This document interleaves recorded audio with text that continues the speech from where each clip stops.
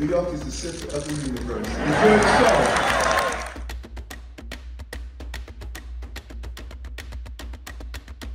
This is the city of Stonewall.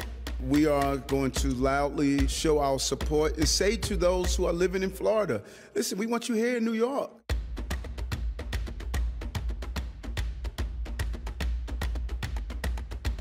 If you don't inspect what you expect, it's all suspect.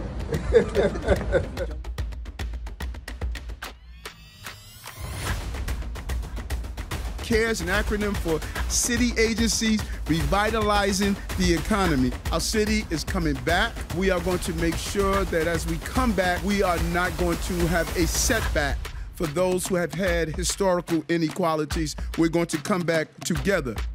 You have my promise and my commitment. We're going to give it our all. For these children. Oh, I love it to him. It's my favorite game.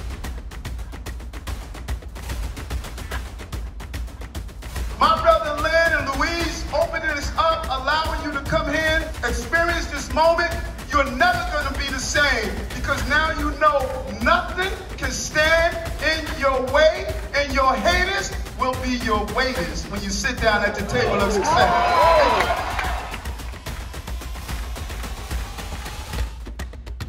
The majority in this city sit in mosques, in churches, in synagogues, and temples. They are well aware of the crises that are impacting our city long before it hits the radar of government.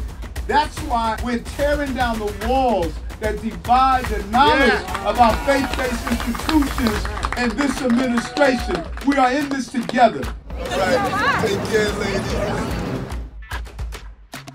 It's an amazing time. Curtains are rising. Show goes on. Let's enjoy New York City.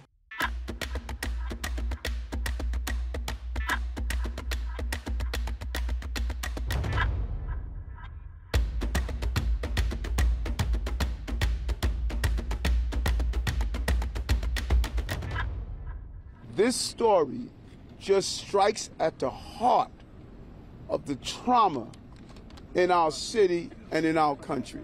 Promising young people snatched away from us. Too many guns on our streets. Too many people who are willing to use those guns to harm innocent people.